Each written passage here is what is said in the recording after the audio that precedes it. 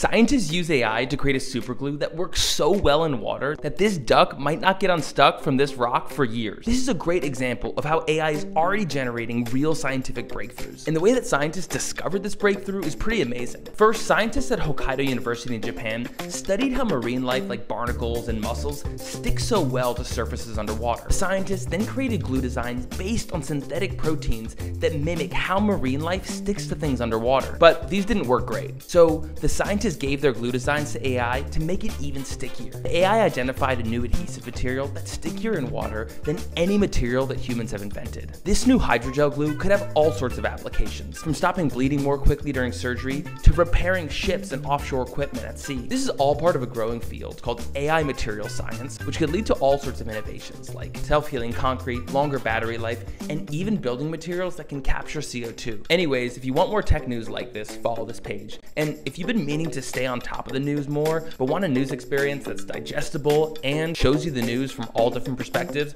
check out the Particle News app. Peace and stay human.